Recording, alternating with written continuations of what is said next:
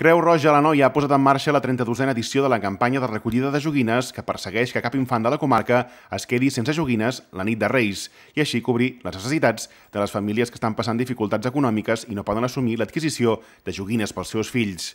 Els criteris d'accés a la campanya es marquen des dels equips de serveis socials de cada municipi. Des de Creu Roja i aquest any més que mai fan una crida per les donacions de joguines per infants de 0 a 12 anys, esperant una resposta social de solidaritat en aquestes festes de Nadal.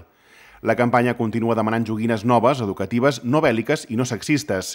Les activitats de sensibilització que es feien als centres educatius aquest any es faran en format virtual, a través d'un vídeo que Creu Roja ha fet arribar a escoles i instituts. També està previst que celebri per cinquè any consecutiu la Marató de Joguines al vestíbul de l'Ajuntament d'Igualada. Serà el proper divendres 18 de desembre, de 10 del matí a les 8 del vespre. També s'ha confirmat un punt de recollida a l'oficina del Casal d'Avis de Vilanova del Camí, al costat del mercat.